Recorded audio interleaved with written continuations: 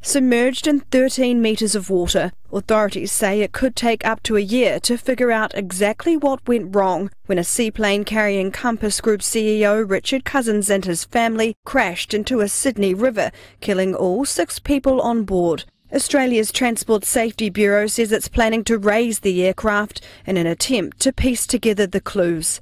We will be looking at uh, a number of areas, um, particularly around the, uh, the aircraft's uh, components. Uh, we'll be removing those and examining them. We'll also be looking at uh, any recorded data that might be on the aircraft. On the business front, things are moving quicker.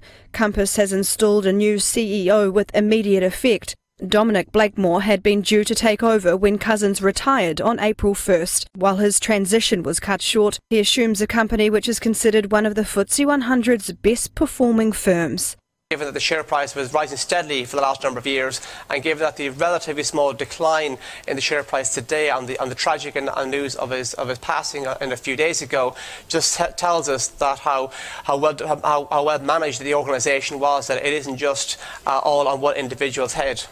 Compass, with an annual turnover of almost $31 billion, employs around 550,000 people around the world, providing food services to schools, the armed forces, and office workers. Cousins is largely credited with the company's success after transforming the balance sheet when he took over 11 years ago. Named one of the world's best performing CEOs by Harvard's Business Review, his death will leave a gap in not only his own company, but the entire business sector.